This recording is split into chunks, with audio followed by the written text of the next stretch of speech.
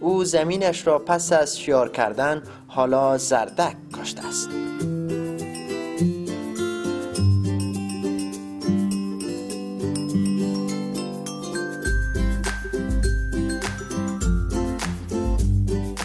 خب از دل آمدیم پیش لالای خود که در حال کار بودن. بیشتر پرسان می‌کنیم اینا هم شغلشان دهقانی و کشاورزی هست. طوری که معلوم میشه از اوضاع کاربارشان از اینکه فعلا چی کار می‌کردن سوال می‌کنیم.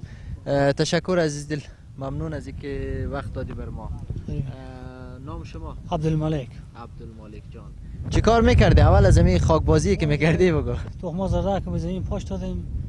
مصروف خاکشی بودیم خاکشی بله خاکشی تخمای زرده که چه رقم زمین باید چه رقم آماده شود که تخم رو برزین بعد از او چی کار باید بکنین باید اول گورونی کنیم حساب انا پال می‌کنیم را پال کردن رفت می‌زنیم رفت که زدیم بعد از او انا تخم پاش میدیم خاکش می‌کنیم 5 6 مرحله داره دیگه. بله.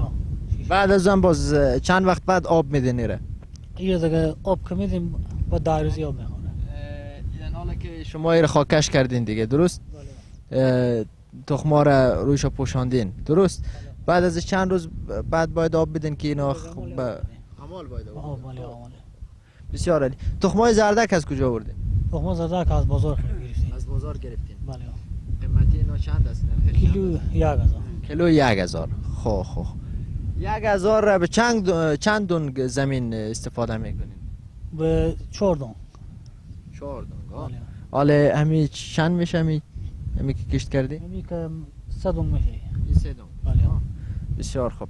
بعد این زردکار که حال شما تخمش ریختین کی باز به بار میایه یا که کی می‌رسه که ببرین به بازار بفروشین؟ دیگه دو ماه بعد دیگه دو ماه بعد ماه بسیار چند بار او میدین باز؟ این دیگه او زیاد می‌خوره دیگه در روزی او می‌خوره. در روزی او می‌خوره. بله. خواه خواه کمبود آب هم دارین دیگه قریه ندارین؟ بله آچاره چی کار می‌کنین؟ با این زردک میشه؟ با یاو؟ دیگه از او سولار استفاده می‌کنیم. سولار هم دارین